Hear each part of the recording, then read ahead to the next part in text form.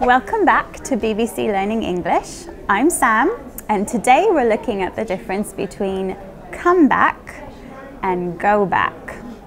They both mean to return, but we use them differently. We use come back when we return here. So for example, I'm in the BBC building now. Tonight I will go home and tomorrow I will come back here like a full circle.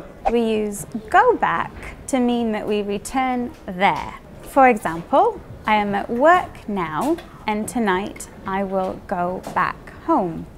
I am not at home now, but tonight I will go back half the circle. So please come back to BBC Learning English for more videos.